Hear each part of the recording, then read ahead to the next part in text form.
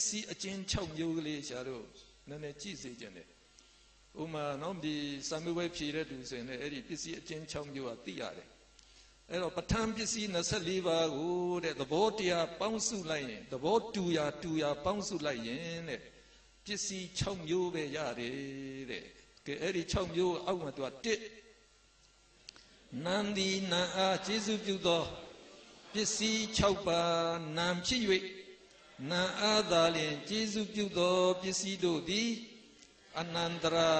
သမနန္တရာအတေဝနာသမယုတ်တာနတ္ထိဝိကတတို့ဖြစ်ကြတယ်အဲ့တော့ဆရာတို့ကပဋ္ဌာန်းရွတ်သွားတော့နော်အဓိပ္ပာယ်လေးကသိသွားပြီးတဲ့အခါအဲ့တော့ဒီမှာကခြုံငုံပြီးတော့ဒါဆင်ကျင်နိုင်အောင်ဒါပြီးတဲ့သဘောပဲအဲ့တော့ပဋ္ဌာန်းမှာကနော်ဆရာတို့ကပစ္စည်းပစ္စုပန်ပစ္စယတတ္တိ သုံးချက်သုံးချက်ပါတယ်ဒါကြောင့်ပဋ္ဌာန်းဆိုသွားရင်ဒါပစ္စည်းတရားပဲ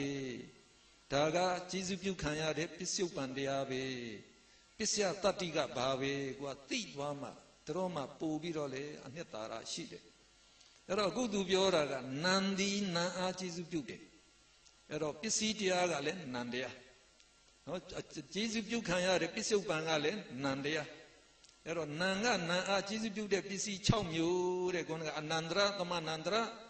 အသေးဝနာတံပြုတ်တနာထိဝိကတအဲ့တော့အဲ့ဓာဒီကတော့ဆရာတော်အသေးစိတ်တော့ဆိုပြီးသွားပြီ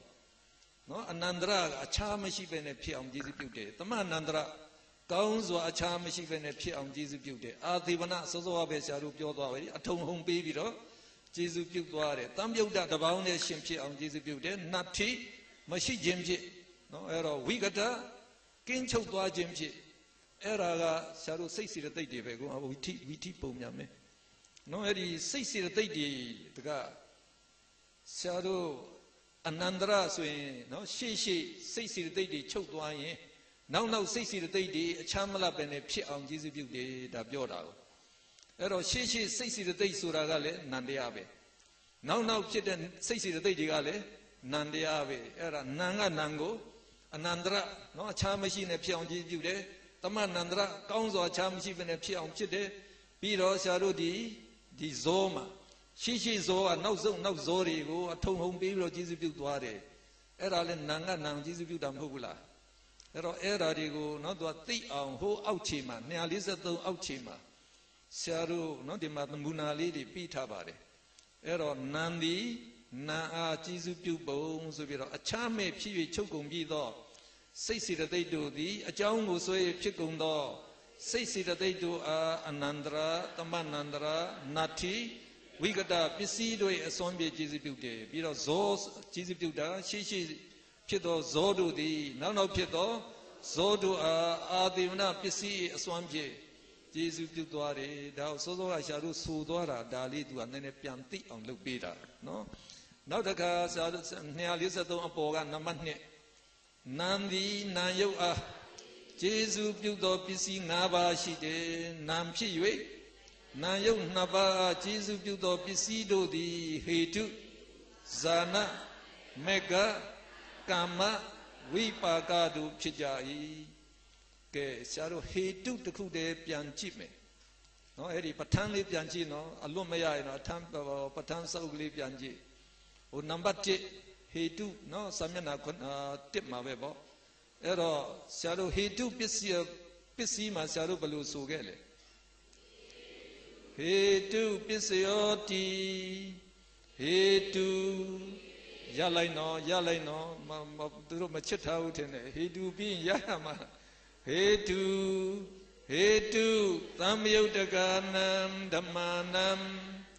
တံသမုဋ္ဌာနာနိသရူပါနံ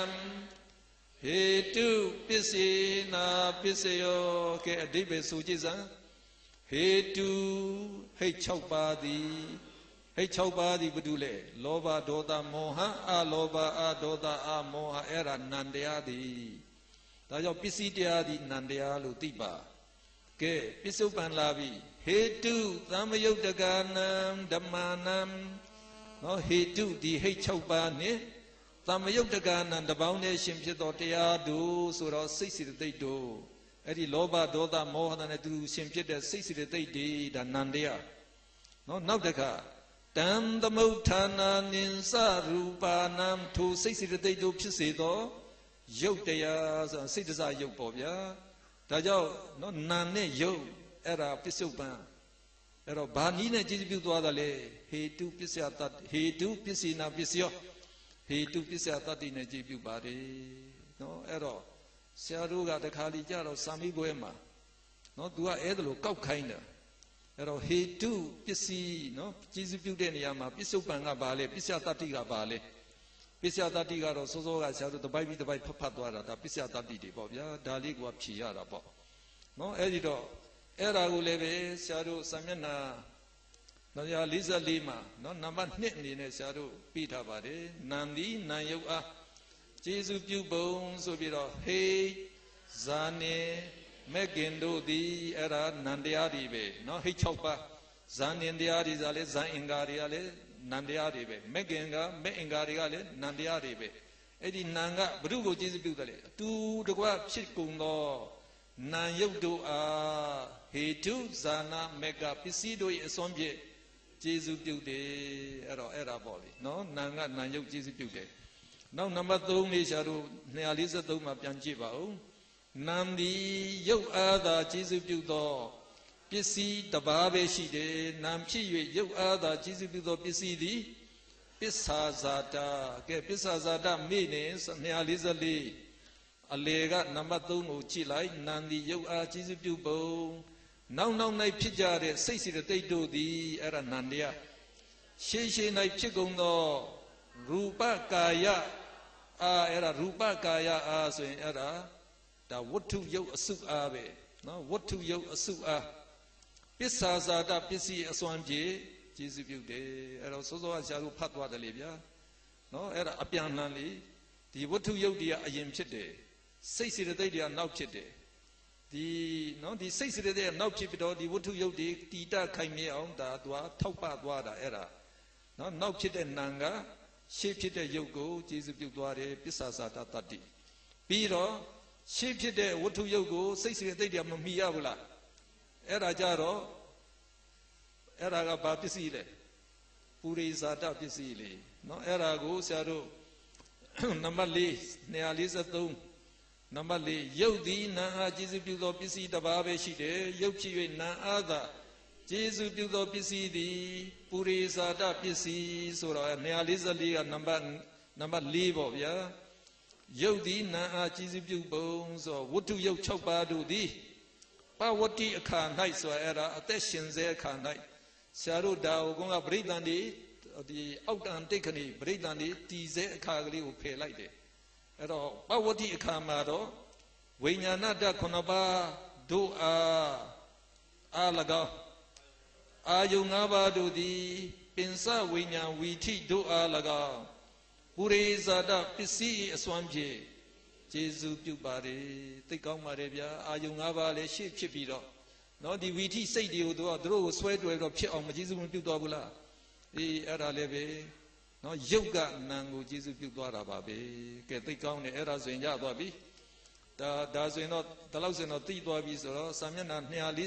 248ပညာ2မျိုးအဲ့တော့အဘိဓမ္မာမှာကဖယားကပရမတ်တရားတွေအကြောင်းကိုအဓိကထားဟောသွားပြီမဲ့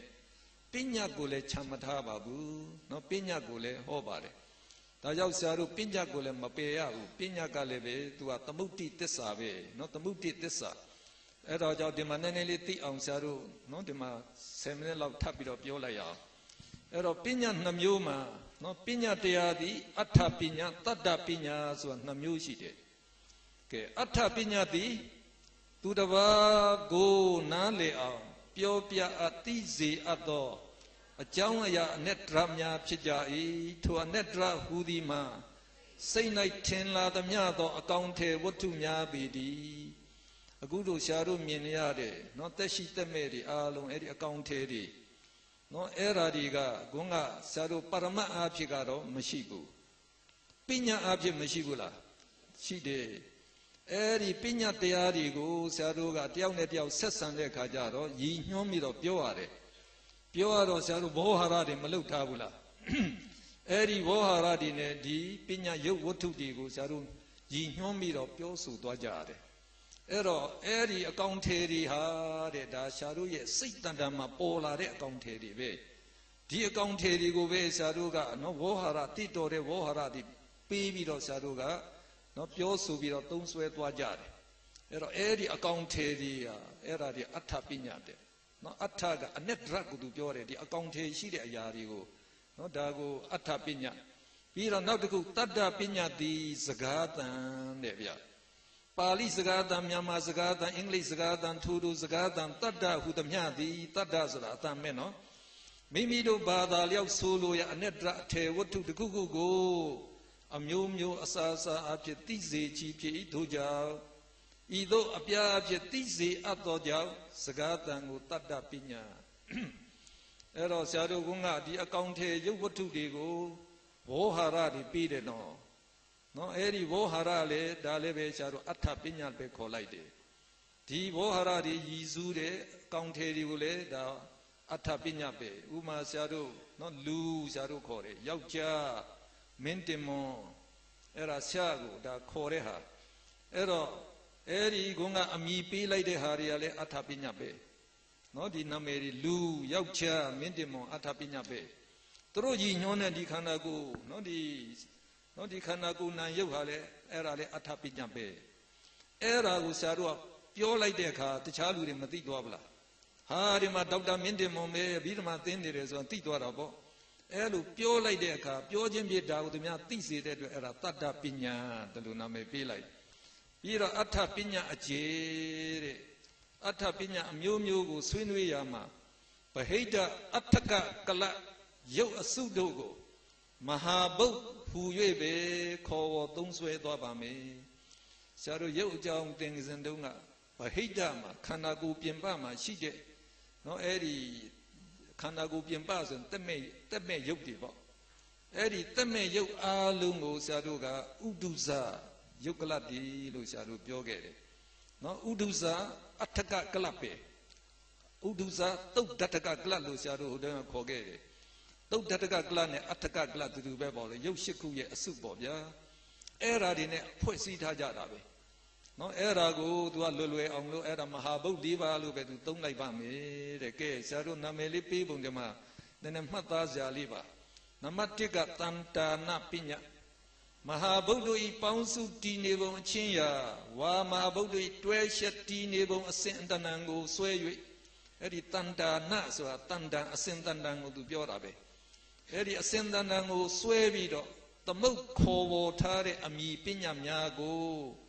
တန်တာနာပညာလို့ခေါ်တယ်အဲ့တော့ပုံစံသူပေးတယ်မဟာဗုဒ္ဓဤပြကျေပြချက်လျက်တွဲရှက်တည်နေပုံအချင်းရာကိုအာယုံပြု၍ဤအရာဒီဘူမိမြေကြီးဟုအမည်သမုတ်အပ်၏အဲ့တော့ပါဠိလိုဘူမိ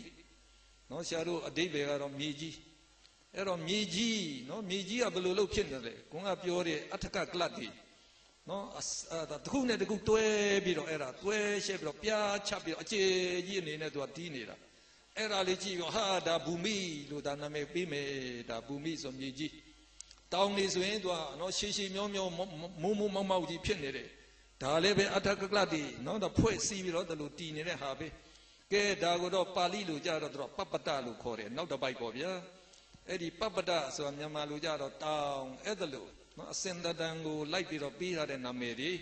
တန်တာနာပညာနံပါတ်2ကတော့တန်ဒါနာပညာအဲ့တော့ပုံတရံကိုအခြေခံပြီးတော့အဲ့ဒါနာမည်ပြီးတာအဲ့တော့ဆရာတို့ကြွေနဲ့လှုပ်ထားတဲ့ပစ္စည်းတစ်မျိုးပဲဆရာတို့သမင်းစားပကံရှိတယ်ဟင်းပကံရှိတယ်ပကံပြားရှိတယ်ကြရာရှိတယ်နော်ပြီးတော့ကြွေစွန်းတွေရှိတယ်စသဖြင့်ပေါ့ဗျာ အဲ့ဒါတွေကအားလုံးကြွေတွေနဲ့ပဲမလှုပ်ထားဘူးလားကြွေတွေနဲ့လှုပ်ထားပြီးမဲ့ပုံတရံချင်းမတူဘူးမတူတဲ့အတွက်ဟာဆရာတို့ကဒါပကံပြားပဲဒါပကံလုံးပဲဒါကတော့ဇွန်ပဲကရာပဲဆိုပြီးတော့နာမည်အမျိုးမျိုးပေးလိုက်တယ်အဲ့ဒါတန်ဒါနပညာပြီးတော့သူတို့ကဟိုမှာတစ်သားတို့ဝါတို့နဲ့နော်သုံးပြီးတော့ဆရာတို့အိမ်ပုံဆောက်လို့ရတယ်တဲပုံဆောက်လို့ရတယ်ကျောင်းပုံဆောက်လို့ရတယ်ယထာဆောက်လို့ရတယ်အဲ့ဓာတွေကလည်းပဲဒါပစ္စည်းကတူတူပဲ နော်ပုံတရံချင်းမတူတဲ့အတွက်ကြောင့်ဒါဆရာတို့နာမည်တွေကခွဲပြီးတော့မှဂေဟအိမ်ရထယထတက္ကတလှေဂမ္မယွာကတအိုးပတပစိုးစသည်ဖြင့်ခေါ်တယ်တဲ့တတ္တပညာကတရဝါတွေပြောတာတရဝါတွေအားလုံးကဆရာတို့ဒီနော်လူပုံမှာဆိုရင်ဒါခန္ဓာ၅ပါးနဲ့ဖွဲ့စည်းထားကြတာအဲ့ဒီခန္ဓာ၅ပါးအဖွဲ့စည်းကိုအာယုံယူပြီးတော့ နော်ဆရာတို့ကအဲ့ဒါနာမည်ပေးလိုက်တာပဲစာမျက်နှာ257မှာဥပမာပေးတယ်ပုရိသယောက်ျားအဋ္ဌိယမိန်းမပုဂ္ဂလပုဂ္ဂိုလ်ဒိတာပညာကဒိတာဆိုအယမျက်နှာအဲ့ဒီအယမျက်နှာတွေကိုဘယ်လိုလုပ်ဆရာတို့သတ်မှတ်လဲနေထွက်ရာရက်ကိုအရှိနေဝင်ရာရက်ကိုအနောက်အဲ့တော့နေဘက်မျက်နှာမျက်နှာလှည့်ရင်လက်ရဘက်ကိုတောင်လက်ဝဲဘက်ကိုအေးအဲ့ဒါထက်အောက်စတယ်အဲ့ဒါဒိတာပညာလို့ခေါ်လိုက်တယ် နံပါတ်5ကာလပညာကအချိန်ကာလနာနဲ့ပိုင်းနေ့လယ်ပိုင်းနော်မွန်လွယ်ပိုင်းညပိုင်းအဲ့ဒါလို့အချိန်ပိုင်းလို့ခေါ်တာဒါကာလပညာတွေခေါ်တယ်နံပါတ်6ကအာကာသပညာကအာကာသဆိုဟင်းလင်းမြဲနော်ဟင်းလင်းနေဘာမှမရှိတာကိုလည်းပဲဟောသူတို့ကဝေါဟာရလုပ်တယ်ဗျာအဲ့တော့ပုံစံလေးအဲ့ဒီမှာပြီးထားတာကုပတွင်းဂုဟာလိုင်ဂူဂူလေနာကလိုင်စိတ်ဓာတ်ကအပေါက် အဲ့တော့ဆရာတို့မှာလုံကြီးမှာပေါက်နေတဲ့နေရာဘာရှိတော့ပေါက်တဲ့နေရာဘာမှမရှိဘူးပေါ့ဒါမရှိပေမဲ့ဆရာတို့ကဒါနော်ဒါအပေါက်ဆိုတော့ဒါနာမည်ပေးတာပဲပေါ့ကိုကရေတွင်းဆိုရင်အဲ့ဒီရေတွင်းလို့ပြောတဲ့နေရာဒါမြေကြီးကနှိုက်ထုတ်တာဘာမှမရှိဘူးအဲ့ဒါကိုပဲဒါရေတွင်းလိုင်ကူဆိုလဲအဲ့ဒီလိုင်ကူဟင်းလင်းဟင်းမြင်းဟင်းလင်းမြင်ကြီးပဲနော်ဒါကိုဟင်းဒါလိုင်ကူလို့အဲ့ဒါလိုနာမည်ပေးသွားတယ်ပြီးတော့ကတိနာပညာဆိုတာကတိုင်း ကတိုင်းပညာတွေပေါ့ဗျာဆရာတို့အာဒီပထဝီကတိုင်းအာဘောကတိုင်းတီဇောကတိုင်းဆိုတဲ့ဟာကအဲ့ဒီမှာနော်ဆရာတို့မဟာဗုဒ္ဓတွေကိုအခြေခံပြီးတော့နာမည်ပေးသွားတယ်အဲ့တော့အချိုးများတဲ့ဥမာပထဝီအချိုးများရင်ပထဝီကတိနာရေရေအချိုးများအညုအချိုးများရင်အာဘောကတိုင်းစသည်ဖြစ်ပေါ့လေဒီလိုနာမည်ပေးတယ်ပြီးတော့251ဒုတိယပိုက်မှာအဲ့ဒီကတိုင်းတွေနမိတ် နော်ပရိကမ္မနမိတ်ဥက္ခနမိတ်ပฏิဘာဂနမိတ်အဲ့ဒီနမိတ်တွေကိုလည်းပဲကတိနာပညာထဲမှာသူကထည့်လိုက်ပါတယ်အဲ့ဒါကဇာတုကပြောတဲ့နော်ဒီအဋ္ဌပညာအမိပေးပုံအမျိုးမျိုးပဲဖြစ်ပါတယ်ပြီးတော့အခုဆရာတို့တတ္တပညာဆရာတို့သွားပါမယ်251ဘာသာစကားအမျိုးမျိုးဤစကားတန်တို့သည်တတ္တပညာချီးဖြစ်ကြ၏တတ္တပညာဟူသမျှသည်လည်း နာမနာမကမ္မနာမဒေယနိရုဒ္ဓိပြင်စနာအဘိလာဘဟုအမည်6မျိုးရတယ်တဲ့လူတယောက်ကအမည်6မျိုးရတယ်လို့ပါပဲတဲ့အဲ့တော့အဲ့ဒီတတ္တပညာကဂုံးကဆရာတို့နာမည်ပြီးထားတာဒီကိုဆရာတို့ရွတ်ဆိုလိုက်ရင်ဒါတတ္တပညာဖြစ်သွားတာနော်စကားတန်အားလုံးဒီတတ္တပညာတည်ကြီးပဲကဲအဲ့ဒီတတ္တပညာရဲ့ဒါနော်အမည်6မျိုးတနည်းပြဂုံ6 6ပါးပါပဲ တစ်ကနာမမိပုံတဲ့ပါဠိမှာနာမရဲ့အဓိပ္ပာယ်ကနော်နာမတတ္တာသည်အ ਨੇ သို့ညွတ်တတ်၏သို့မဟုတ်မိမိထံသို့အ ਨੇ ကိုညွတ်လာစေတတ်၏ဟုအဓိပ္ပာယ်ရတယ်တဲ့ပုံစံဘူမိဆိုတဲ့စကားလုံးကမြေကြီးဟူသောအ ਨੇ ကိုဟောစွမ်းနိုင်တယ်ထို့သောဟောစွမ်းနိုင်တဲ့အတွက်နော်မြေကြီးဟူသည့်အ ਨੇ ကို ဟောဖို့ရအမြဲကိုင်းညွတ်နေတယ်လို့ဖြစ်ပါတယ်တဲ့အဲ့တော့ကိုင်းညွတ်နေတဲ့အတွက်သူကိုဘူဒီနာမလို့နာမည်ပေးတယ်ထို့ပြင်ထို့သောဟောစွန်းနိုင်သောတတ္တိရှိသည့်အားလျော်စွာဘူမိတတ္တာသည်မြေကြီးဟူသောအ내ကိုမိမိဟောနေအဖြစ်အမြဲကိုင်းညွတ်လာစေတကဲ့သို့ရှိ၏ထို့ကြောင့်ဘူမိသည် နာမဟူသောအမည်ကိုရတယ်ကိုင်းညွတ်တယ်ကိုဆိုလိုတဲ့အဓိပ္ပာယ်ကိုကဖော်ထုတ်ဖို့ကိုင်းညွတ်နေတယ်အဲ့ဒီအဓိပ္ပာယ်လည်းကိုစီနော်လာပြီးတော့အမြဲကိုင်းညွတ်နေအောင်ရှိစေတယ်ဆိုတဲ့အတွက်ဒါနာမနံပါတ်1နာမကမ္မဆိုတာကထိုဘူမိဟူသောအဲ့ဒီဘူမိကိုပဲဥပမာယူနေတယ်နော်ဒီဘူမိဆိုတဲ့မြေကြီးဘူမိဟူသောတတ္တာဒီပင်အရေးပါအရာရောက်တဲ့ရှေးပညာရှိတွေသမုတ်ထားတဲ့အမိနာမဖြစ်တဲ့အတွက် နာမကမ္မဆိုတဲ့အမည်ရတယ်ဂုံကိုရတယ်အဲ့တော့ဒီအမည်တွေကတာမညမဟုတ်ဘူးရှေးပညာရှိတွေကနော်ဒါတတ်မှတ်သွားပေးတဲ့အမည်တွေဆိုအဲ့ဒီအတိပ္ပယ်လေးသူကဆိုလိုပါတယ်နံပါတ်3ကနာမဒေယအမည်ပုံဘူမိဆိုတဲ့အဲ့ဒီစကားလုံးဒီပင်ပညာရှိတို့ပညာတင်အပ်တဲ့အတွက်ကြောင့်နာမဒေယအဲ့တော့ပညာတင်ထားတယ်ဆိုတော့နော်ဒါဝေါဟာရ အဲ့ဒီအဘိဓမ္မာတွေထဲမှာတခါတည်းတင်ထားတယ်ဒါအဲ့ဒါပြောနာမဒေယနံပါတ်၄နိရုဒ္ဓိမြည်ပုံဘူမိဟုသောတရားနာမတိပင်မရွတ်ဆိုမိ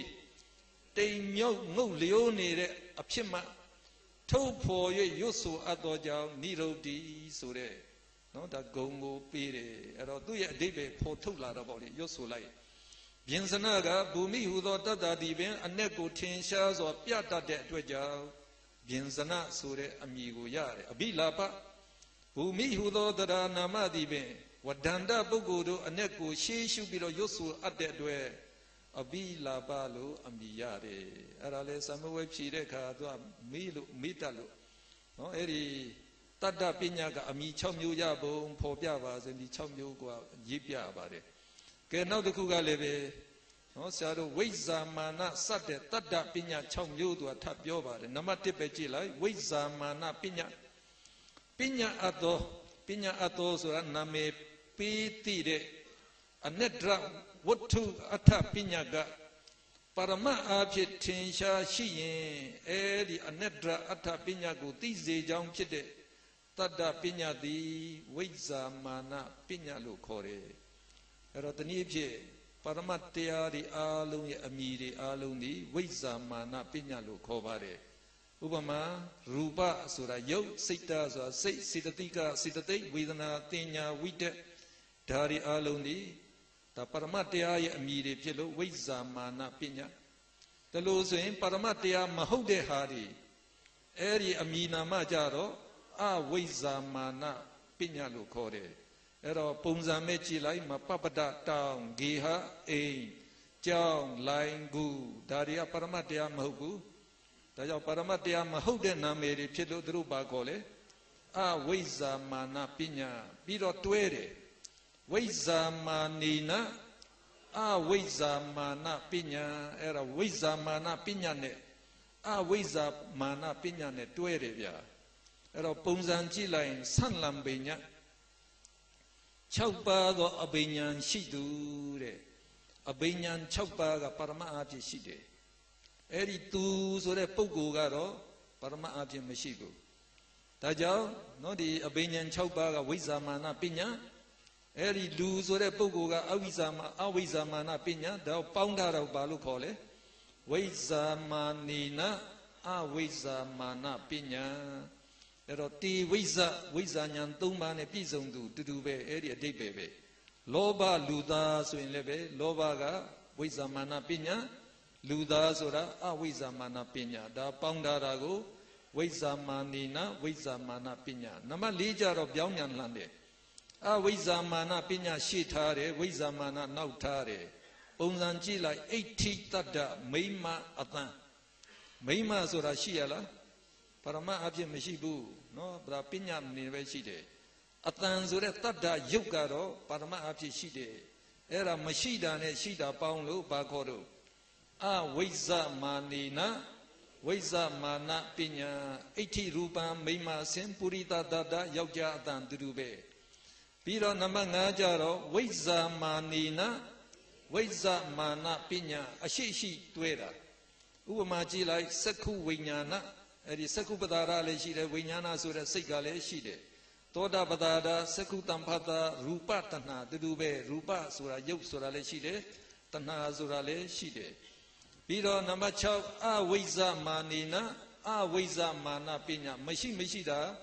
တွဲတယ်ဥပမာပုံစံကြည့်လိုက်ရာဇပုဒ္ဒဘယင်သားဘယင်ဆိုတာလည်းမရှိဘူးပညာအာပါရမအဖြစ်သားဆိုတာလည်းမရှိဘူး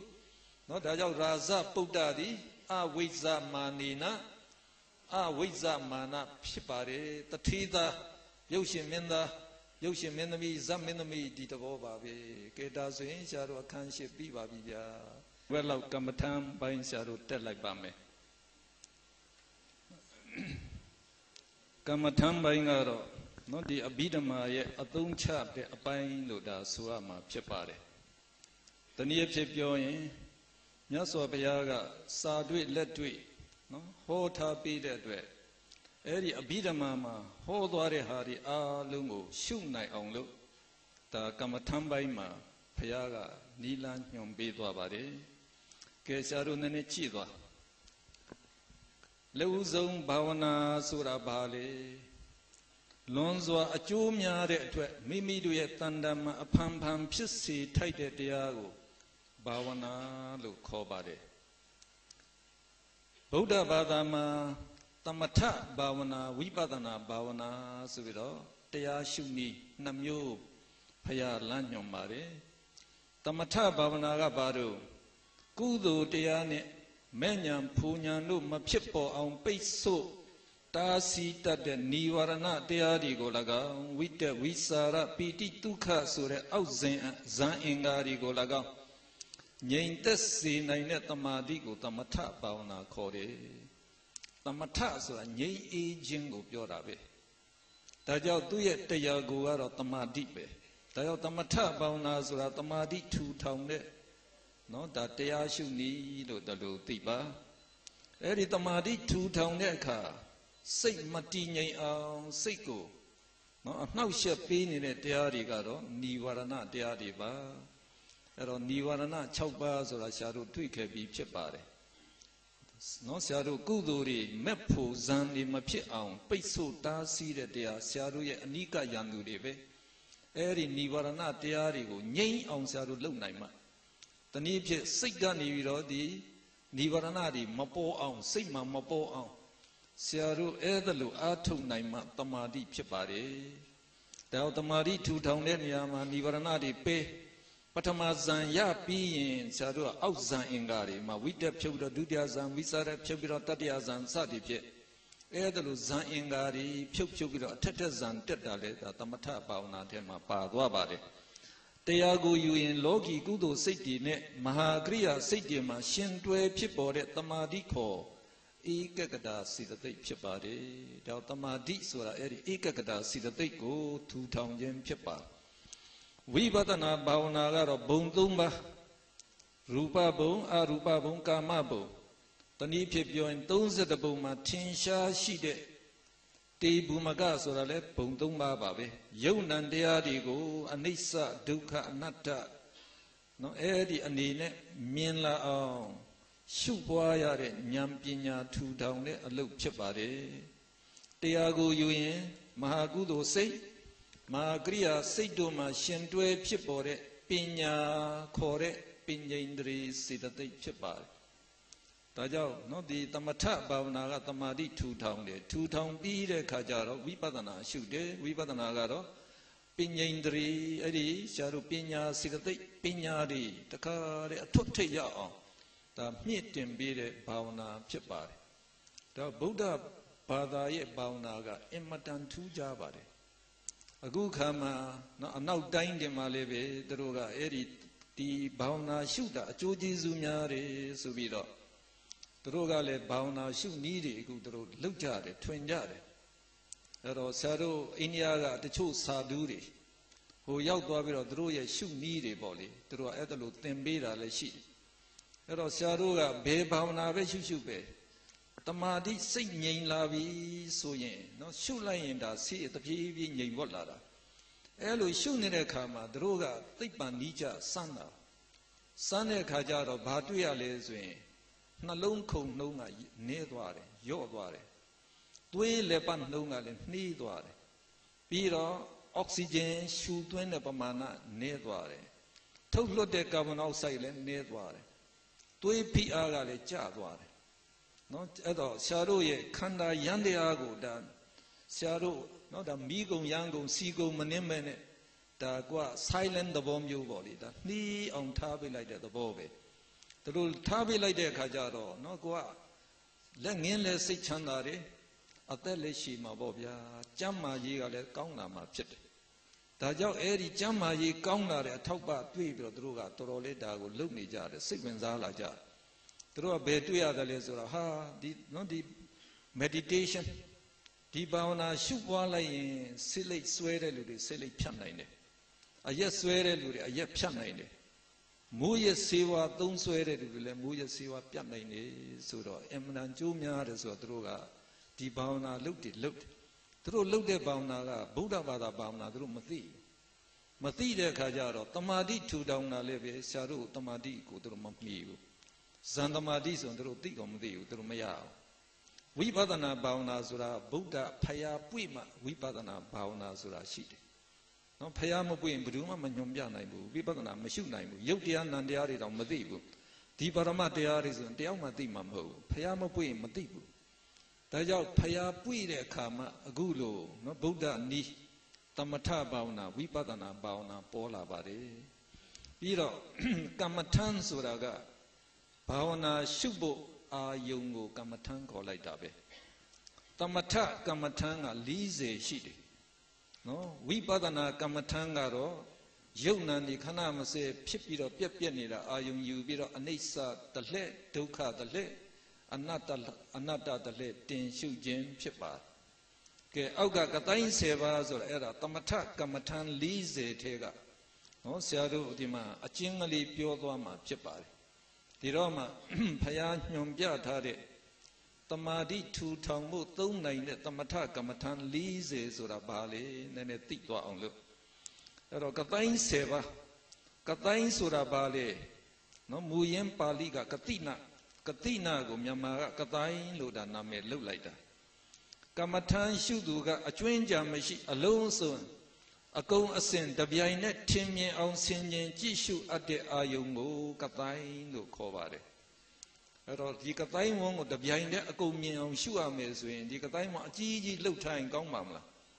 နော်လှဲပြီးတော့သွားကြည့်မျက်လုံးတွေပြူးတော့ကြည့်နေရမှာပေါ့အဲ့တော့ဇီးရွက်လောက်သွားပြီးတော့သေးနေရင်စိတ်ကျဉ်းကျပ်သွားမှာဒါကြောင့်နော်သူကမကြီးမကျယ်ဆိုတာတထွာနဲ့လက်လေးသေးဆိုတာတပေအဝအကျယ်လောက်သူကယူတယ် ပြီးတော့အဝန္တတံကဒါအားလုံးခြုံငုံပြီးတော့ကြည့်ဖို့လိုတယ်ဆိုတော့လွယ်တဲ့အတွက်ကြောင့်အဝန္တတံပဲလုပ်ပါတယ်ကဲကတိုင်း၁၀ပါးလေးနည်းနည်းသိအောင်ပထဝီကတိုင်းဆိုတာကမြေကတိုင်းပါပဲမြေအဝန်းတစ်ခုလုပ်ပြီးတော့ဆရာတို့ရှုခြင်းဖြစ်ပါတယ်ဒီပထဝီကတိုင်းကဆရာတို့ရှေ့ပိုင်းကလည်းဇန်နေတက်ပုံဆရာတို့ပြောခဲ့ပြီးပြီပြီးတော့ဒီနောက်ပိုင်းမှာလည်း ဒီကမ္မထန်ရှုတဲ့နော်ဒီအစီအစီတက်သွားပုံမှာပထဝီကတိုင်းနဲ့ပဲဆရာတို့ကဥပမာပေးမှာဖြစ်ပါတယ်ရေအာဘောကတိုင်းကရေကတိုင်းတေဇောကတိုင်းကမိကတိုင်းဝါယောကတိုင်းကလေကတိုင်း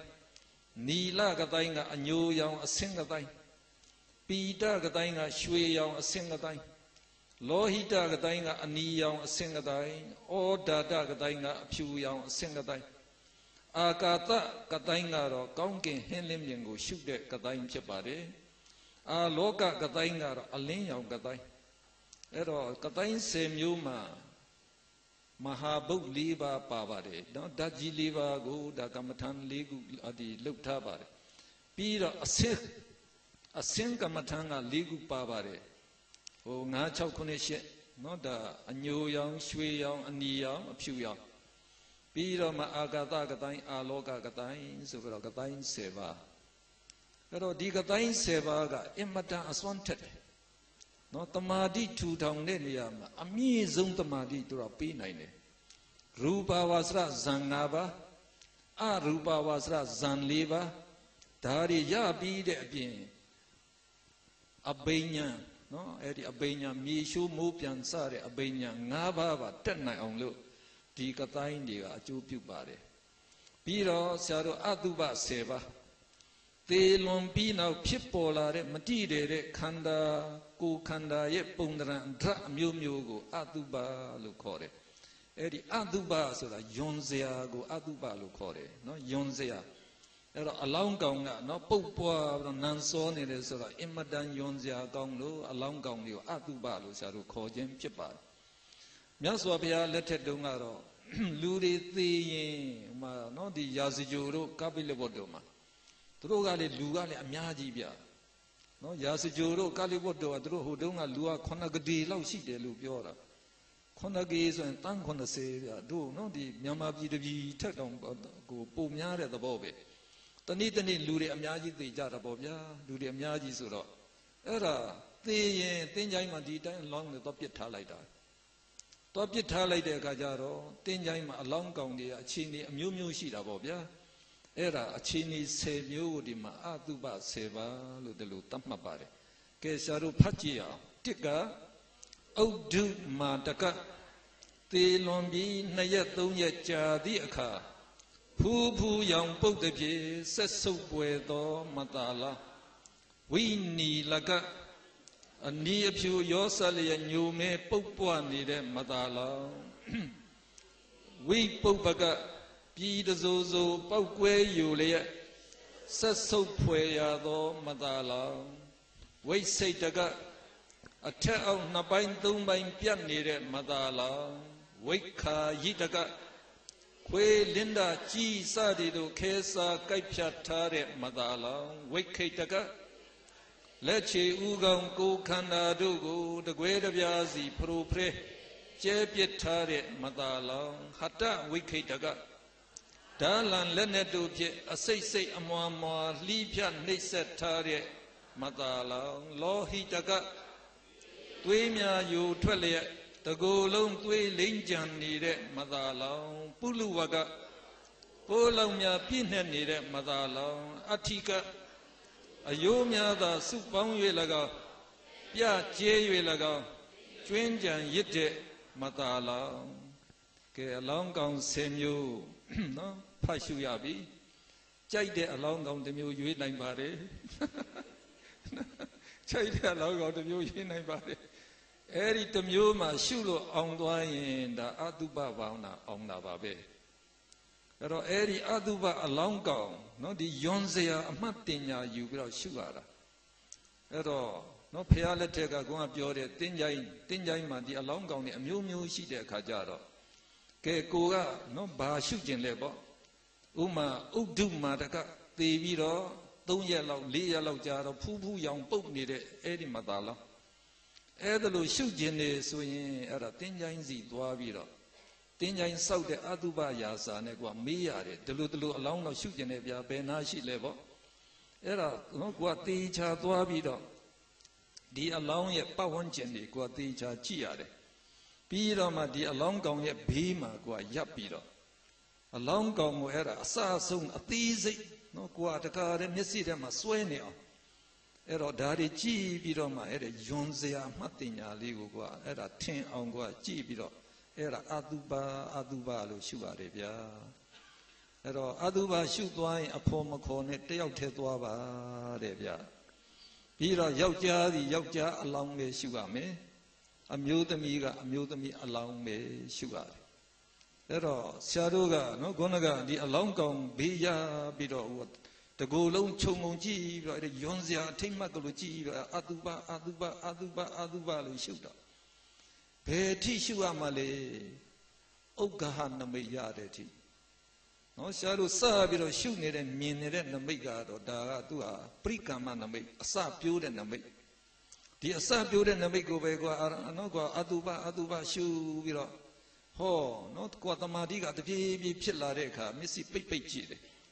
မျက်စိပိတ်လိုက်လို့ဒီအလောင်းကောင်ကနော်ဒီမျက်စိထဲမှာစွဲနေပြီထင်းနေပြီဆိုရင်ဥက္ခာနမိတ်ရတယ်ခေါ်တယ် နော်ဥက္ခာနမိတ်အဲ့တော့ဒီဓာကိုစိတ်နဲ့မှတ်မိသွားပြီစိတ်ထဲမှာစွဲနေပြီအဲ့တော့အဲ့ဒီအထိတော့အနည်းဆုံးကိုအရှုရမှာအဲ့တော့ဥက္ခာနမိတ်ရဘူးဆိုတာဒီနော်ဒီကွာတထိုင်တရက်တည်းတစ်ချိန်တည်းကွာရှုလို့ရရဘူးဆိုတာမလွယ်ဘူးပြီးတော့ဒီဖူးဖူးရောင်ပုတ်တဲ့အလောင်းကောင်ဆိုတာလေသူကတရက်နှစ်ရက်ပဲတည်တယ်ပြီးရင် तू ကနော် तू ကဟိုအယောင်နေဖြောပြီးတော့ပုလူဒီကြံတဲ့နံပါတ်2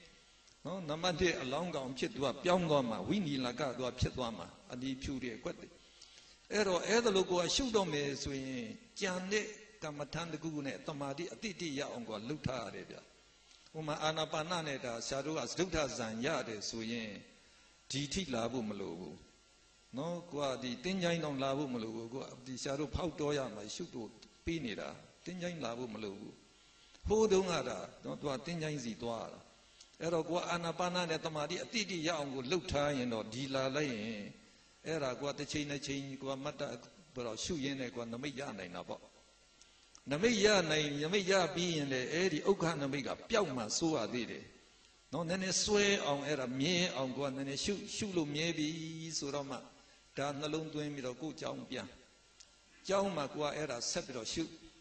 ရှုပြီးတော့နော်ခေါင်းကဒီဥက္ခနမိတ်ကနေသူကပฏิပါကနမိတ်ပြောင်းမှာ ဥက္ခနမိတ်ကတော့မူလအလောင်းကောင်တိုင်းပဲသူကကြောက်စရာယွန်စရာကြီးပဲ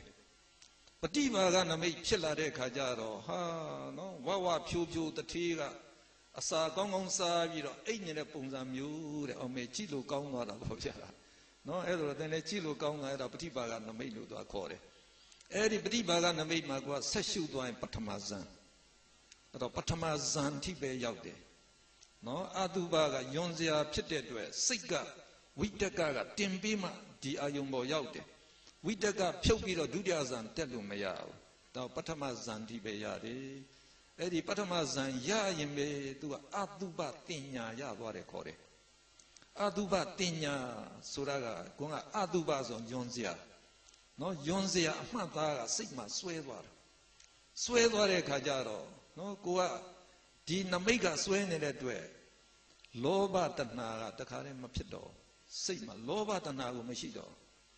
ဒါကြောင့်ဆရာတို့ကမေးစရာရှိတယ်တို့မြတ်စွာဘုရားကဘာဖြစ်လို့တလောက်ယွန်စရာကောင်းတဲ့အတုပသွားရှုခိုင်းရတယ်လေအဲ့တော့အမတန်အစွမ်းထက်တဲ့ကမ္မထမ်းနေဗျာဆရာတို့အများဆုံးဒုက္ခပေးတာတဏှာလောဘပဲအဲ့ဒီတဏှာလောဘကိုနိုင်တဲ့ကမ္မထမ်းဒီကမ္မထမ်းပဲတယ်ဗျာဒါကြောင့်တို့မြတ်စွာဘုရားလက်ထက်တုန်းကသူ့ကို compulsory ကမ္မထမ်းလို့လုပ်ထားတာ အဲ့တော့နော်ဒီသာသနာပေါင်းဝင်နေဆိုရင်ဥပ္ပဇေဆရာတော်ကအဲ့ဒါဒီကမ္မထမ်းရှုနည်းသင်ပြီးတော့သွားရှုပဲအဲ့တော့မမရရဘုရားလက်ထက်ကဝင်ဂီတဆိုတဲ့မျိုးသားသူကလည်းလူရွယ်အရွယ်ကောင်းတို့နော်ဝင်ဂီတအဲ့တော့ तू ကဘာပညာရထားလဲဆိုရင်လူသေးတဲ့ဥကောင်းကိုဥကောင်းခွန်ကိုခောက်လိုက်ရင်အဲ့ဒီပုဂ္ဂိုလ်သေပြီးအခုဘယ်မှာဖြစ်နေတယ်ဆိုတော့ပြောနိုင်တယ်ဗျာ နော်ပြောနိုင်တယ်ဒီပညာကဆရာတို့သိရသလောက်ဟိုးအီဂျစ်ခေတ်တုန်းကလည်းပေါ်ဘူးတယ်ဒါကအဲ့တော့အဲ့ဒါနဲ့ तू ကတငယ်ချင်းတွေနဲ့နော်အပေါင်းအသင်းတွေနဲ့တရွာပြီးတရွာလှည့်ပြီးတော့ကဲခင်များတို့သေသွားတဲ့ဆွေမျိုးတွေရဲ့ဥကောင်းတွေယူလာပါ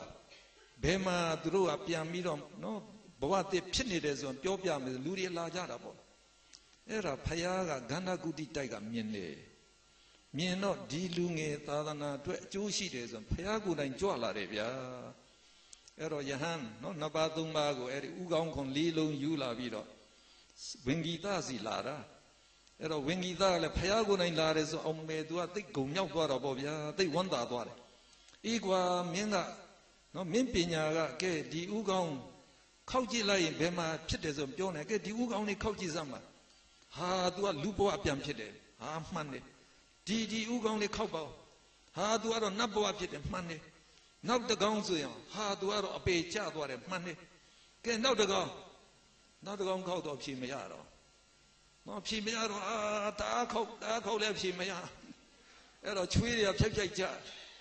အဲ့တော့ဖခင်ကအဲ့တော့မှပြုံးပြီးတော့ကဲဝင်ကြီးသားမင်းအဖြေမရဘူးလားတဲ့ဟုတ်တယ်ကျွန်တော်ဖြေရှာလို့မတွေ့ဘူးအရှင်ဂေါတမသိသလားတဲ့ငါသိတာဗောငါ့ကိုမှီပြီးတော့သွားတယ်ငါတပည့်တယောက်ပဲဟာအဲ့ဒါလို့ဆိုရင်လည်းပညာဖလှယ်ရအောင်တဲ့ နော် तू က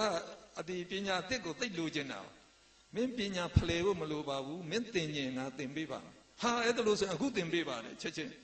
ဟာအခုသင်လို့ပဲရမင်းပညာမင်းမင်းဆရာမင်းသင်တော့ကမင်းတပည့်တစ်နှစ်ခံရတယ်မဟုတ်ဘူးလားနော်ဒါကသူဟာဒီ probation period ခေါ်တော့ဗောဗျာဒါတပည့်ခံတော့ဆရာသမားလှုပ်ကြွေးနော်အဲ့တော့ပြုစုပြုစုလို့အဲ့ဒါဆရာသမားကြည်နတ်တော်မှာတော်မှာသင်ပေးတာကိုအေးငါမှလေအဲ့ဒါလို့ပြိကံရှိတယ်ကွာ ဟာအဲ့လိုဆိုရင်မလုပ်ရမယ်ယဟန်ဝတ်ရမယ်ဟာဒါလို့ဆိုရင်ချက်ချင်းဝတ်မယ်တဲ့အဲ့တော့သိလူချင်းနေဗျာတငယ်ချင်းတွေပြောကျွန်တော်မိဘပြောလိုက်ကျွန်တော်ယဟန်ဝတ်ပြီဆိုပြီးတော့ယဟန်ဝတ်တာအဲ့တော့အာနန္ဒာကိုအပ်ပေးလိုက်တော့အာနန္ဒာကသူ့ကိုအတုပကမ္မဏရှုခိုင်းတော့ပေါ့ဗျာနော်အဲ့တော့အတုပကမ္မဏရှုပြီးတော့အဲ့ဒါဆုံးကန်ကြွတာရာဇကြိုထဲဝင်လာဆုံးကန်ကြွတော့ယဟန်ဆိုတော့နော်ရှေ့ဆရာတို့လေးလံလောက်ပဲမြတ်စွာချပြီးတော့ကွာဆုံးကန်ကြွတာ ဟာလောင်းမဲ့လူလာတယ်ဆိုရင်ကွာနော်ဒါမြင်သွားပြီမြင်သွားရင်သူရှိမှကွာရအဲ့တော့ तू ကဒီကလောင်းတယ်ဆိုရင်တပိတ်ကိုကွာနော်လက်ရလက်နဲ့ကင်ပြီးတော့အဖုံးလေးပဲလက်နဲ့ကွာဖွေလိုက်တာပေါ့ဟိုဘက်ကိုဖွေဖွေပြီးရင်တပိတ်ပဲကွာကြည့်နေရမှာအဲ့တော့ဟိုကလောင်းပြီးရင်တပိတ်ပြန်ပိတ်ပြီးတော့ကြွမှာကိုတဏှာမှာလောင်းတဲ့အမျိုးသမီးကနော်သူကလောင်းလိုက်တော့လက်ချောင်းကလေးမြင်လိုက်တာနဲ့ဟာဖို့ဖျောင်းနေလို့နော်အင်မနာလှပတိတယ်တာမြင်လိုက်တော့ သူကလူငယ်ဆိုမျက်စိကချက်ချင်းအမျိုးသမီးစီရောက်သွားတာကိုအမျိုးသမီးစီရောက်သွားတော့လေအင်မနာလှတဲ့အမျိုးသမီးဆိုမျက်စိကိုမကွာနိုင်တော့အဲ့တော့ဂကုန်းကရာဂတဏပေါ်လာတာပဲနော်ဒီလိုဝိတဘာကအာယုံတွေ့တယ်ဆိုရင်ဆရာတို့ကနော်ကိုကပုရုဇဉ်ဆိုရင်တော့ဒါတဏလောဘကတော့တက်တော့တာပဲအဲ့တော့ဒီကနေ तू မခွာခြင်းတော့ဘူးဒါဆွဲလန်းသွားပြီတဏကနေဒါကုန်းကလို့ဆွဲလန်းသွားတဲ့အခါသူ့ရဲ့ဆရာအနန္ဒာရှေ့ကြွနေပြီ အဲ့တော့အကူကြီးတောင်းရတာအဲ့တော့နော်ဆရာဆရာဆရာအနန္ဒာအရှင်အနန္ဒာဖះပေါ့တပည့်တော်မှာရာဂမြာစူးနေပါပြီတဲ့နော်ယမဘရာဂမြာစူးနေပါပြီအဲ့တော့ကုညီပေးပါဦးဆိုတော့မှအဲ့ဒီမှာရှင်အနန္ဒာအသာလေးနောက်ဘက်လှည့်ပြီးတော့ငါရှင်သင်နှလုံးသွင်းမှားနေပြီတဲ့အဲ့တော့နှလုံးသွင်းမှားနေပြီဆိုတာအတုပကိုတုပလို့နှလုံးသွင်းနေတာတဲ့ သင်ရှုထားတဲ့အတုပအာယုံပြန်အာယုံယူလိုက်ပါဆိုမျက်စိမိတ်လိုက်အာယုံယူလိုက်တာနဲ့အတုပပေါ်တာပေါ့ဗျာနော်ကိုကကွန်းကဇံရထိုင်မျက်စိပိတ်လိုက်တာပေါ်တာပဲပေါ်တာဆိုရင်တဏှာရာကချက်ချင်းငြိမ့်တာပဲငြိမ့်နေဆိုတာလည်းအဲ့ဒါဆက်ပြီးတော့အိန္ဒိယရဆက်ပြီးတော့သွားနိုင်တာပေါ့ဗျာနော်အဲ့တော့ဆရာတို့ကအဲ့ဒီအတုပကမ္မဋ္ဌာန်းရှုပြီးတော့အတုပတင်ညာရသွားရင်ဒါကငြိမ့်သွားတဲ့အခါဒီလူဒီယဟန္တာကဲ့သို့ကိုတည်ငြိမ်သွားတယ်ဗျာ ဒီလိုဆိုရင်ဆရာတို့ဟာနော်ဝိပဿနာဆက်ရှုလိုက်ရင်မြန်မြန်ကြီးရမဲ့ဖို့ရောက်သွားတာပေါ့ဗျာကဲအဲ့ဒီတော့ဒါဆရာတို့နော်အတုပကမ္မဋ္ဌာန်းနောက်အနုတ္တိကမ္မထံကလည်း10ပါးအနုတ္တိဆိုတာအဖန်ဖန်အောက်မေ့ဆင်ခြင်မှုတတိစေတသိက်ကိုအနုတ္တိလို့ခေါ်ပါတယ်ဗုဒ္ဓအနုတ္တိဆိုတာဖရာဂုံတော်နော်ဖရာဂုံတော်တွေကိုအဖန်ဖန်ဆင်ခြင်နှလုံးသွင်းတာ ဓမ္မအနုတ္တိဆိုရင်လည်းတရားဂုံတော်တန်ခါအနုတ္တိကတန်ခါဂုံတော်သီလာအနုတ္တိကသီလရဲ့ဂုံကျေးဇူးတွေပြီးတော့ကိုစောက်ထိန်ထားတဲ့ကိုယ့်ရဲ့တီလဖြူစင်တာကိုအာယုံယူပြီးတော့အဲ့ဒါနှလုံးသွင်းရှုရတယ်ဗျစာဂာနုဒတိကလည်းကိုကိုယ်တိုင်ရရရရနော်ကောစို့ဒံလှူဒန်းပြီးတော့အဲ့ဒီအလှူဒါနရဲ့နော်ဂုံကျေးဇူးတွေကိုကိုကဆင်ញံနှလုံးသွင်းရတာ ဒေဝတာနုဒတိကြတော့နတ်ဗျမာတွေကိုတက်သေးအရာမှာထားပြီးတော့ကိုယ့်ရဲ့နော်ကိုယ့်ရဲ့ကောင်းမှုများကုသိုလ်ကောင်းမှုများကိုအဖမ်းမအောက်မေ့ဆင်ခြင်မှုဆိုအဲ့ဒါမှာသူတော်ကောင်းတရားခုနှစ်ပါးကိုရှုတယ်အောက်မှာပြတာတယ်တတ္တာတတိဝီရိယသုတ္တပညာဟိရိဩတ္တပအဲ့ဒါသူတော်ကောင်းတရားခုနှစ်ပါးပဲနော်ဒီနတ်ဗျမာတွေဟာသူတို့ကသူတို့စီမှာဒီ သူတော်ကောင်းတရားတွေရှိတဲ့အတွက်သေလွန်တဲ့အခါကျတော့သူကနတ်ပုံနတ်နော်ဒီနတ်ဗျမာတွေဖြစ်သွားကြတယ်ငါမှလေဒီဒီတရားတွေရှိတယ်ဆိုပြီးတော့ကိုယ့်ရဲ့တရားတရားတတိတရားဝိရိယတရားအဲ့ဓာတွေကိုရှုရတယ်ဗျာဒါကိုဒေဝတာနုတ္တိလို့ခေါ်ပါတယ်ပြီးတော့မှဥပဒမနုတ္တိကနိဗ္ဗာန်ရဲ့ဂုံကျေးဇူးတွေနှလုံးသွင်းရပါတယ်မာရဏနုတ္တိကကိုယ့်ရဲ့သေခြင်းတဘော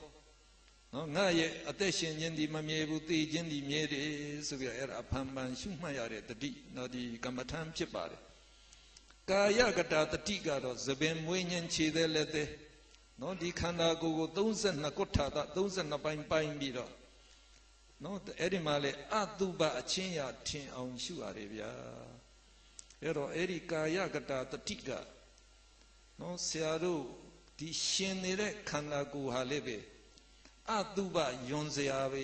အဲ့ဒီအတုပတင်ညာထင်အောင်ရှုရတဲ့ကမ္မထမ်းမြနော်ကောကအတုပကဆရာတို့နော်ဒီသေနေတဲ့အလောင်းကောင်ကိုရှုတာအဲ့တော့သူတို့ခေါ်တော့အဝိညာဏကအတုပအဝိညာဏကဝိညာဉ်မရှိတဲ့အတုပအခုကာယကတာတတိကြတော့ဝိညာဏကအတုပဝိညာဉ်ရှိတဲ့အတုပအဲ့တော့ နော်ဒီနှစ်ခုလုံးကအင်မတန်အကျိုးကျေးဇူးကြီးတာအဲ့တော့ဆရာတို့ဗုဒ္ဓဘာသာမှာပဲဒီကမ္မထမ်းတွေကရှိတာနော်တို့မြတ်စွာဘုရားဆိုရင်အဲ့ဒီကာယကတာတတိကမ္မထံကိုအင်မတန်ချီးကျူးတယ်အကျဉ်သူတို့ဟာတဲ့အဲ့ဒီကာယတကတာတတိကမ္မထံကိုရှုပွားမယ်ဆိုရင်နိဗ္ဗာန်အမြိုက်ချမ်းသာကိုခံစားရပါပြီတဲ့မရှုတဲ့လူတွေကမခံစားရပါဘူးတဲ့ဒီလိုရှုတယ်ဒီလိုပြောတယ်ဗျာ တို့ဖះလက်ထက်ကအဲ့ဒီ32ကုဋ္ဌာသအ ਨੇ ကနော်ဒီ၅ခုကလေးဒီပြင်ပကုဋ္ဌာသ၅ခုသပင်မွေးညင်းခြေသေးလက်သေးသွားအရေးနော်ဒါကိုသူကကေသာလောမာနခာဒန္တာသသောပါဠိလိုရွတ်နေလေရတယ်မြန်မာလိုရွတ်နေလေရတယ်အဲ့တော့ဟိုတုန်းကလူငယ်ကလေးတွေနော်ကိုဝင်ဝတ်ကိုရင်ဝတ်ကြတာအဲ့ဒီကိုရင်ကလေးတွေဒီဒီကမ္မထန်ဒီဒီငါးခုလေးပဲသင်ပေးတယ် နော်သပင်မွေးညင်ခြေသေးလက်သေးသွားရည်အဲ့ဒါကိုဆင်ကျင်ခိုင်းတယ်ပြီးတော့သူတို့ခေါင်းရိပ်တဲ့အခါမှာအဲ့ဒါကိုထပ်ပြီးတော့ဆင်ကျင်ခိုင်းတယ်နော်ကိုယ့်ရဲ့သပင်ပြုတ်ကြလာရင်အဲ့ဒါအတုပပဲခန္ဓာကိုယ်ကနေတော့ပြုတ်ကြတယ်ဆိုရင်ယွန်စရာကြီးပဲအဲ့တော့အဲ့ဒီလိုဒီဓာတွေကိုယွန်စရာအနေနဲ့ထင်အောင်ရှုခိုင်းတာအဲ့ဒါလို့ဆန်ချရင်းတဲ့ကိုတောတာပံဖြစ်သွားတဲ့ကလေးတွေအများကြီးဗျာနော်ဒါကြောင့်ဒီကာယကတာတတိကမ္မထံကလည်းပဲ အဲ့ဒါနှလုံးသွင်းရင်းနဲ့ပဲဒါဆရာတို့အရိယာတွေဖြစ်သွားတဲ့ပုဂ္ဂိုလ်တွေအများကြီးရှိပါတယ်နော်သူ့ကိုတော့တမထကမ္မထံဆိုပေမဲ့ရှာတို့သူ့ရှုပွားလိုက်တဲ့အခါကုန်းကမဲ့ညာပူညာအထိရောက်ပါတယ်ဗျာသိကောင်းပါတယ်ကဲအဲ့ဒီတော့နော်ဆရာတို့နောက်ဆုံးကတော့အာနာပါနတတိထွက်သက်ဝင်သက်ကိုအောက်မေ့ဆင်ခြင်တဲ့တတိတရားအဲ့ဒီအနုတ္တိကမ္မထံ10မျိုးကလည်းဖရာကကြိုက်တဲ့တစ်မျိုး နော်ကိုကရှုပွားမယ်ဆိုရင်အဲ့ဒါနိဗ္ဗာန်ရောက်တဲ့အထိပေါက်မြောက်ပါတယ်တဲ့အဲ့ဒီအထိဘုရားချီးကျူးတယ်ဗျာအဲ့တော့ဒီ10ပါးထဲကတော့ဗုဒ္ဓနုတ္တိကတော့အမြတ်ဆုံးတမထကမ္မထံလို့ခေါ်တယ်နော်မြတ်စွာဘုရားရဲ့ဂုဏ်တော်တွေအမြတ်အမြင့်မြတ်ဆုံးဖြစ်တဲ့အတွက်ရောက်တာအမြတ်ဆုံးတမထကမ္မထံအဲ့တော့ဆရာတို့ပြီးတော့စတုရာရခကမ္မထံလို့ခေါ်တဲ့အဆောက်အရှောက်ကမ္မထံ၄ပါး အဲ့ဒီ၄ပါးမှာလေဗုဒ္ဓနုတ္တိပါတယ်ဗျာနော်အဲ့တော့ဒါကြောင့်အဲ့ဒီဗုဒ္ဓနုတ္တိကတော့ဆရာတို့ရှုပွားဖို့အလိကြည့်လှုပ်ထားရင်သိကောင်းပါတယ်နော်ဖရာဂုံတော်ကိုးပါအာရဟံသမ္မာသမ္ဗုဒ္ဓဝိဇ္ဇာသရဏသမ္ပန္နောအတိပ္ပယ်လေးတွေတော့သိအောင်လုပ်ရပါတယ်နော်ဆရာတို့အဲ့ဒီမြတ်ဗုဒ္ဓဆိုတဲ့စာအုပ်ပြီးတော့အဲ့ဒီခလေးယဉ်ကျေးမှုစာအုပ်နော်အဲ့ဒီမှာဒါတွေဖရာဂုံတော်တွေဆရာတို့ပြီးထားပါတယ် အဲ့တော့အဲ့ဒီဂုံတော်ကိုးပါလေးကရှုသွားနော်အဲ့ဒါလေးရှုပြီးတော့ကိုအကြိုက်ဆုံးဂုံတော်တစ်ပါးရွေးလို့ရတယ်တဲ့ကိုကြိုက်တဲ့ဂုံတော်အာရဟံကြိုက်တာများတယ်အာရဟံကြိုက်ရင်အာရဟံတစ်မျိုးပဲရှုရတယ်အဲ့တော့ကိုရှုရင်လည်းပဲကိုအိမ်ကဘုရားစင်သူပေါ်ရှေ့မှာထိုင်ပြီးတော့ရှာနော်ဘုရားရဲ့မျက်နှာတော်တိတယ်တပ်ပေတာအာယုံယူပြီးတော့အာရဟံအာရဟံမျက်စိဖွင့်ပြီးတော့ရှုလို့ရတယ်နော်အာရဟံအာရဟံ အာရဟံရဲ့ဂုဏ်တော်ပါတော့ကိလေသာကင်းစင်လို့အမျက်ဆုံးဖြစ်တယ်ဒါကြောင့်ပူဇော်အထူးခံထိုက်တယ်နော်အမျက်ဆုံးဖြစ်ပြီးပူဇော်ထူးခံတိုက်တယ်အာရဟံအာရဟံဒါလေးနှလုံးသွင်းပြီးပြီအဲ့တော့ကိုကနော်မျက်စိဖွေးပြီးနှလုံးသွင်းလို့အဲ့တော့ဒီဘုရားစင်သူပုံကလည်းမျက်စိထဲမှာနည်းနည်းဆွဲလောက်ပြီးဆိုမျက်စိပိတ်လိုက်ပေါ့ မျက်စိပိတ်ပြီးတော့အဲ့ဒါကိုကိုကြည်ညိုတဲ့စင်သူအာယုံယူပြီးတော့အာရဟံအာရဟံတော့ဆက်တာရှုသွားလိုက်ဒါဗုဒ္ဓနုတ္တိပဲသိလွယ်ပါတယ်နော်အဲ့ဒီဗုဒ္ဓနုတ္တိကဒီကမ္မထမ်းရှုတယ်ဆိုတာတော်တော်လွယ်တာပါဖရာလက်ထက်တုန်းကခလေးနှစ်ယောက်ဂုံညင်းကစားတယ်ဂေါ်လီကစားတယ်ဗုဒ္ဓဘာသာခလေးကအမြင်နိုင်တယ်အဲ့တော့ဘာသာကြားဘာသာမရှိတဲ့ခလေးကမေးတယ် မင်းဘာဖြစ်လို့အမြဲအမြဲနိုင်နေတာလဲအေးငါကနော်ဂေါ်လီဒိုးမပြစ်ခင်နမောဗုဒ္ဓတာလို့ငါအမြဲရွတ်တယ်နမောဗုဒ္ဓတာဆိုတာမြတ်စွာဘုရားကိုရှိခိုးပါဤဒါပဲအတိတ်ပဲကအဲ့တော့ဒီကလေးအသေးပဲသူကသိတာမဟုတ်ဘူးအဲ့တော့မင်းလည်းပဲနိုင်နေတယ်ဆိုရင်မင်းလည်းရှုပေါ့ဆိုရင်အဲ့တော့ तू လည်းရှုတယ်ဗျာအဲ့ဒါ तू ကအမြဲရွတ်တယ်ဒီဘာသာကြားကလေးက तू ကနိုင်နေတာကို နမောဗုဒ္ဓတာနမောဗုဒ္ဓတာနမောဗုဒ္ဓတာအဲ့ဒါလမ်းလျှောက်နေရွတ်တော့ဟိုသွားလဲရွတ်ရွတ်နေကြတော့အဲ့ဒါအမြဲกว่า habit is the second nature သိမှန်တယ်နော်အလေးကြည့်လို့ရင်အဲ့ဒါသဘာဝဖြစ်သွားတယ်ကိုသွားရင်းနဲ့အဲ့ဒါနော်ကိုကရွတ်နေပြီးသားဖြစ်သွားတာမှတ်နေတာဖြစ်သွားတနည်းကြတော့သူ့ဖေကသူ့ကိုတော်တယ်ထင်းခုတ်ကိုခေါ်သွားအဲ့တော့ထင်းနေလဲပေါ်တင်ပြီးတော့ပြန်လာပြီရာဇကြိုမြို့အဝင်မှာ အဲ့တော့နွားတွေခဏအနာပေးမေဆိုနွားတွေဖြုတ်တာဖြုတ်တော့မြက်ပြီးစားတာပေါ့ဗျာအဲ့ဒီချိန်မှာညနေဆောင်ဆိုတော့နွားကြောင်းသားတွေကနွားတွေမြို့တဲ့ပြန်သွင်းတဲ့အချိန်ဆိုဒီနွားနှကောင်မြို့တဲ့လိုက်ဝင်သွားအဲ့တော့မှအဖေကနွားနော်နွားပြန်ပြီးတော့လှဲကတော့မယ်ဆိုမှနွားရှာလို့မတွေ့ဟာငါတို့နွားတော့မြို့ထဲဝင်သွားပြီကဲငါသားမင်းဒီမှာပဲမင်းနေနဲ့အဖေနွားသွားယူမယ်ဆိုတော့အဲ့ဒါမြို့ထဲဝင်တာ နွားတော့အိမ်မှာတွေ့တယ်ဒါပေမဲ့ပြန်ထွက်တဲ့ချိန်မြို့တကာပိတ်သွားထွက်လို့မရအဲ့ဒီညရောက်တဲ့အခါအဲ့ဒီနေရာဘလူးတွေကျက်စားတဲ့နေရာတဲ့ဗျာအဲ့တော့ဘလူးနှစ်ကောင်နော်သူတို့ကလာတော့အဲ့ဒီဘလူးတစ်ကောင်ကဒီကလေးမြင်ပြီဟာဒီနေ့တော့ငါမအာဟာရအကောင်းကောင်းငါစားတော့မယ်ဆိုတော့နော်အဲ့ဒီကလေးစီသူဥတီသွားတယ်သူတငယ်ချင်းတတိပေးတယ်မင်းစားလို့မရသူကဖယားသားဖြစ်နေပြီတဲ့မင်းစားလို့မရဘ ယ်ဖယားသားတော့ဘာတော့ငါနားမလဲစားမယ်ကွာသွားပြီးတော့ခြေတောက်တော့ဆွဲတာကလေးကအိပ်ပျော်နေပြီအဖေမလာတော့အဲ့ဒါစားလဲစားငိုရင်ငိုရင်နောက်ဆုံးအိပ်ပျော်သွားတယ်အဲ့ဒါခြေတောက်ဆွဲလိုက်တာနဲ့နိုးတာနဲ့နတ်မောဗုဒ္ဓသာဟောနော်ကွာအမြဲကိုရွတ်ဆိုနေတဲ့အခါနတ်မောဗုဒ္ဓသာလည်းပြောလိုက်ရအဲ့ဒီဘလူးကြီးอ่ะခါတဲ့နောက်နောက်ကောက်လန်သွားတာပဲ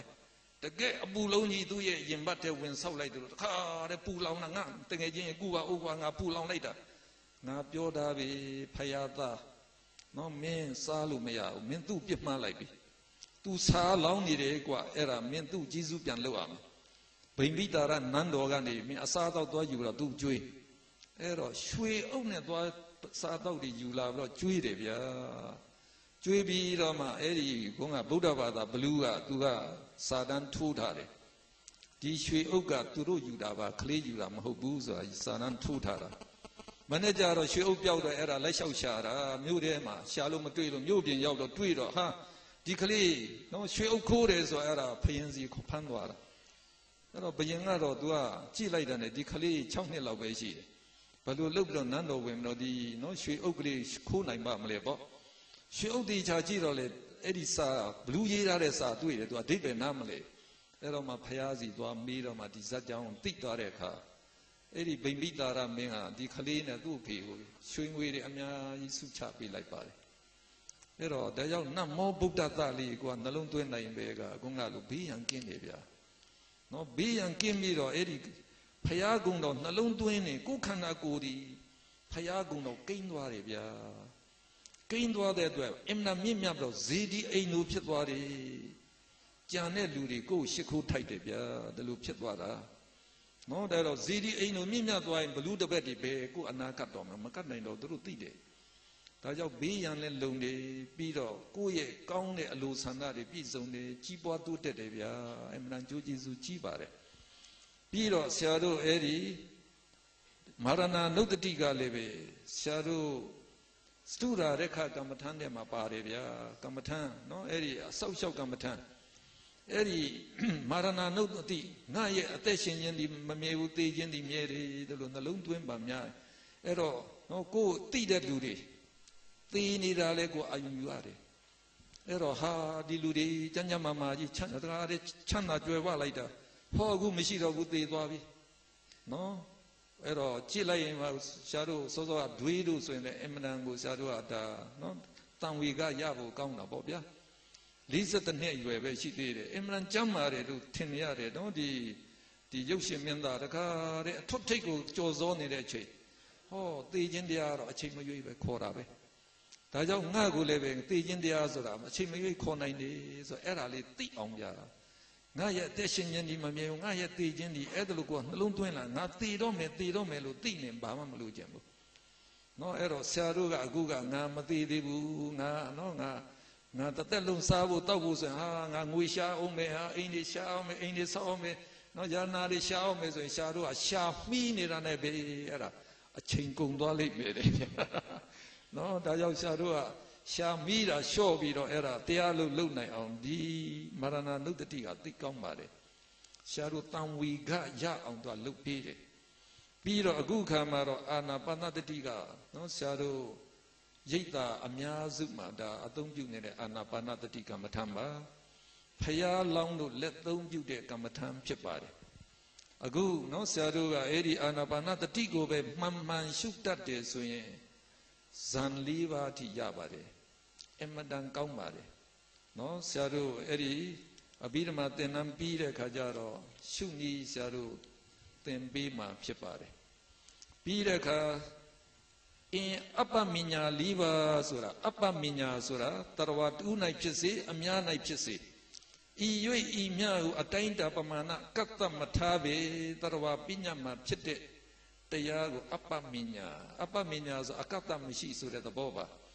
အဲ့တော့အပ္ပမညာအမိရတဲ့ကမ္မထံ၄ပါးကမေတ္တာရဲ့ကရုဏာရဲ့မုဒိတာရဲ့ဥပိ္ပခာရဲ့နော်အဲ့ဒီဗျမဇူတရား၄ပါးလို့လည်းခေါ်တယ် ဗြဟ္မဝိဟာရတရား၄ပါးလို့လည်းခေါ်တယ်ဗျာအဲ့ဒီမေတ္တာကမ္မထံကတော့အဲ့ဒီအဆောက်အအုံကမ္မထံတဲ့မှာသူကနံပါတ်1ပဲနော်ကိုယ့်ရဲ့ယန္တူတွေကိုကိုကအဲ့ဒါနော်ကိုကနှိမ်နှင်းဖို့ပြီးတော့ဘေးရန်ကာဖို့အကောင်းဆုံးကမ္မထံကတော့မေတ္တာကမ္မထံပဲ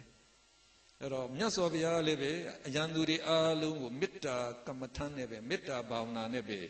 အနိုင်ယူပါတယ်အဲ့တော့ဒီမေတ္တာကအင်မတန်အေးချမ်းသာ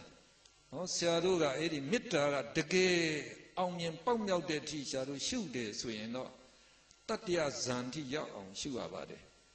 နော်အဲ့ဒါလို့ဇန်တိရောက်သွားပြီးဆရာတို့ကိုမေတ္တာပို့ခြင်းတဲ့လူကိုစူးစိုက်ပြီးတော့ပို့နိုင်တာအင်မတန်ကိုထိရောက်တာရန်သူတွေပို့လိုက်တယ်ဆိုရင်ရန်သူတွေအားလုံးကိုယ့်ဘောမှာတခါတည်းမိတ်ဆွေပြန်ဖြစ်သွားတာပဲနော်ခေါင်းကကိုကအားလုံးသောတတဝါတွေကမေတ္တာပို့ထားတဲ့အခါကျအားလုံးကိုယ့်ဘောမှာ ကိုယ့်ရဲ့မိတ်ဆွေတွေအကုန်ဖြစ်သွားတာပဲနော်ဒါတောင်တောင်တန်းဆရာတော်ဦးဥတ္တမသာရဟိုးချင်းတောင်ခန္တီတောင်ကြီးမှာတောကြီးမဲ့ညမဲထဲမှာနေတာဗျာနှစ်90ဆရာတော်ကညကြီးတကောင်တဲ့ဆရာတော်ကနော်ချင်းရွာတွေကဟာသူ့ရဲ့ဇနီးကကလေးမွေးတာမရဘူးအဲ့ဒါနော်အဲ့တော့လက်သေးနဲ့လည်းဘလို့မှမွေးလို့မရရင်တော့ဆရာတော်လာပြတာပဲအဲ့ဒါညကြီးတကောင်အဲ့ဒါဆရာတော်ကြွတာ အဲ့တော့မီးမပါဘူးတဲ့ဗျာနော်လက်နေတမ်းမီးတော့တခါလည်းမရှိဘူးတော့တောထဲမှာဆိုတော့ကအဲ့တော့လာရောင်ကလေးနဲ့အဲ့ဒါဆရာတော်ကြွတာပဲတောင်ခွေးလေးတခုနဲ့အဲ့တော့ဒီတောကြီးမြက်မဲမှာကြားတွေချင်းသေးတွေကင်းတွေမွေတွေအများကြီးပဲတဲ့အဲ့တော့ဆရာတော်ပြောတယ်ရှိနေမှာပဲတဲ့ဒါပေမဲ့ तू ကစထွက်တဲ့မေတ္တာပို့နေပြီနော်အဲ့တော့ရှိကိုလည်းပို့ဘေးနှစ်ဖက်လည်းပို့နောက်ကိုလည်းပို့အောက်လည်းပို့အထက်လည်းပို့ तू ပို့တာလည်းသိလွယ်တယ်အလုံးစုံသောတရားပေါင်းလို့ဒီနော်စိုးရိမ်ကြောက်ကြနော်ဘေးရန်ကင်းပြီကိုစိတ်တပြာကျမ်းမာချမ်းသာကြပါစေနော်တရားအားလုံးဘေးရန်ကြောက်ကြဆင်းရဲကင်းပြီကိုစိတ်နှပြကျမ်းမာချမ်းသာကြပါစေဒါပဲနော်အဲ့တော့ဒါခြုံငုံပြီးတော့ပို့လိုက်တာပေါ့ဗျာတရဝအားလုံးချမ်းသာပါစေဒါတော့ပို့နေရတာပဲနော်ကိုအာယုံယူပြီးတော့အဲ့ဒါပို့သွားဒီတရဝတွေ ထိရောက်တယ်ဗျာဒါသူဘယ်သူမှဘေးအန္တရာယ်မှမရှိဘူးပြီးတော့ဆရာတို့အာဟာရီပฏิကူလတင်ညာဆိုတာပฏิကူလဆိုတာယွန်စရာပဲအာဟာရီဆိုအစာအစာအာဟာရကိုယွန်စရာအမှတ်တင်ညာရအောင်ရှုခိုင်းတဲ့ကမ္မထမ်းဗျာအဲ့တော့ဒီကမ္မထမ်းကကိုယ့်မျိုးသားတွေကအင်မတန်အဲ့ဒီအစာဟာရမှာဇီစာကျဲနေတယ်ဆိုရင်တော့ နော်အဲ့ဒါဆရာတို့ဖောက်တော်ရခေါ်လာပြီးတော့အဲ့ဒီအာဟာရအာဟာရီပฏิကောလကမ္မထမ်းနဲ့ရှုခိုင်းလိုက်ရှုလိုက်ပြီးရင်တော့အဲ့ဒါဘာဘာအစာပဲဖြစ်ဖြစ်ဘာမှကြီးမများတော့နော်သိကောင်းပါတယ်ပြီးတော့ဆရာတို့စတုဓာတုဆိုတာဓာတ်၄ပါးဝဝဌာနအရှိရှိတိုင်းပိုင်းပိုင်းခြားခြားသိအောင်ရှုရတဲ့ကမ္မထမ်းစတုဓာတုဝဝဌာနဒါကိုပဲဓကမ္မထံလို့ခေါ်တယ်ဗျာအဲ့ဒီဓကမ္မထံက နော်ဆရာတို့တမထကမ္မထံလေးဖြစ်တယ်ဝိပဿနာကမ္မထံလေးဖြစ်တယ်ဒါဆရာတို့ဝိပဿနာပဲကူးရင်ဒီစတုဓာတုဝဝထံကမ္မထံကရှုကိုရှုရပါတယ်ဒါကြောင့်ဆရာတို့နော်ဒီတမထဝိပဿနာရှုရင်ဒီကမ္မထံကလက်လွတ်လို့တော့မရပါဘူးအဲ့တော့ဆရာတို့ဖောက်တော်ရမှာဖောက်ဆရာတော်ကစပြီးတော့ကမ္မထမ်းပြတဲ့အချိန်မှာဓကမ္မထမ်းနဲ့ပြတယ်ဗျာနော်ဆရာ1980 89ခု86ခုအဲ့ဒီမော်လမြိုင်ရောက်သွားတဲ့အခါဆရာတော်စီရောက်တော့ဒီကမ္မထမ်းပြနေတာအဲ့တော့ဆရာတို့ဘာတွေ့ရလဲဆိုရင်ဒီကမ္မထမ်းဒီတမာတိထူထောင်တဲ့နေရာမှာအထက်မြတ်ဆုံးပဲဒါကြောင့်နိမမန္တာအာထုတ်နိုင်တယ်ဆိုရင်သူအထက်မြတ်ဆုံးကမ္မထမ်းများဒီကမ္မထမ်းပြီးတော့အာရုပ၄ပါးကတော့အရူပဇံ၄ပါးရအောင်ရှုတဲ့ကမ္မထံပဲဖြစ်ပါတယ်အဲ့တော့အခုဆရာတို့ပြောလိုက်တာအဲ့ဒါကမ္မထံ40ပဲနော်ကမ္မထံ40ပဲ ကဲဒီနေ့တော့ဆရာတို့ဒီတင်ပဲရပ်ပြီးတော့နော်ဖရာရှိခိုးမျှဝေကြရအောင်ဣမာယဓမ္မာနုဓမ္မပฏิပါတိယဗုဒ္ဓံပုဇေမိဣမာယဓမ္မာနုဓမ္မပฏิပါတိယဓမ္မံပုဇေမိဣမာယ ဓမ္မာနုဓဓမ္မပရိပါတိယသံဃံပုဇေမိဣမာယဓမ္မာနုဓမ္မပฏิပါတိယဤလောကုတ္တရာတရားကိုယ်ပါအားလျော်သောခြေဝပฏิပါဖြင့်ဗုဒ္ဓံမြတ်စွာဘုရားကိုဓမ္မံတရားတော်မြတ်ကို သံဃံသံဃာတော်မြတ်ကိုဥစေမိပူဇော်ပါဤအရှင်ဘုရားဤသို့ပြုရာမြတ်ပုံညကိုကြည်တမြေကောင်မျက်မောတောင်ဥမကကျူသာကျေးဇူးအရှင်မွေမိခင်နှင့်ဖခင်တို့အားယာညာပါစေအမြဝေဤ မသွေနေသဤကာယကိုသောက်တပိဒကိုဆောင်နလေမလစေယပေဝေငါဤမိတ္တဆွေညာဆရာသမဘူဘာကသယမယာဇာဒီဝါယကဣန္ဒပုံမာအာကာသနာအထုမ၍အမြတ်ပုံည ကုသလကိုရကြပါစေအမြဝေဤတပိတတ္တသတ္တဝါဟုနာနာလောကအနန္တတွင်မပြတ်စင်ငါတတ္တဝါသဘုံကိုဝါနှင့်ဝိညာဏတိတိတည်ရှိခုနှစ်ပါးမြာစွာလုံးစုံဘုံ31 ဖြစ်ဖြစ်သမျှဝိနေယအားအမြကုသိုလ်ပေးဝေလိုဤထိုကုသလမြတ်ပုံညကိုအမြရာကြသည်ဖြစ်စေသောဝတုံတရေမြေပန္တုသီလာထုလေသက်တိအမှုတည်စေသောအလုံးကြာကြာသမျှ အမြအမြအမြယူတော်မူကြပါကုန်လောသာဓုသာဓုသာဓုအလုံးကြာကြာသမျှအမြအမြအမြယူတော်မူကြပါကုန်လောသာ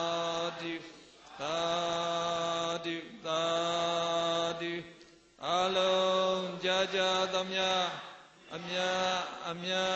အမြယူတော်မူကြပါကုန်လောသာဓုသာဓုသာဓုအလုံးကြမ်းမှချမ်းသာကြပါစေ